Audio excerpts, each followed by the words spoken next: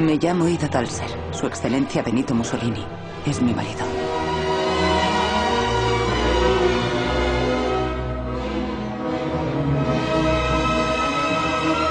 Esta guerra será una guerra revolucionaria. Pondrá en movimiento la rueda de la historia con la sangre.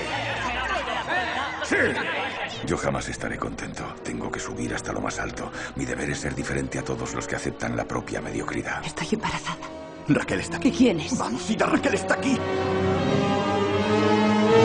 No nos abandones, Benito. No te olvides de tu hijo. Benito, mírame. Estoy dispuesta a perdonarte y olvidarlo todo. ¡Suéltame!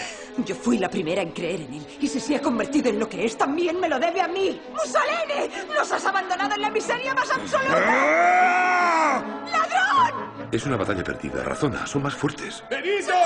Yo nunca le he traicionado, ni siquiera en mi mente. O él o nadie.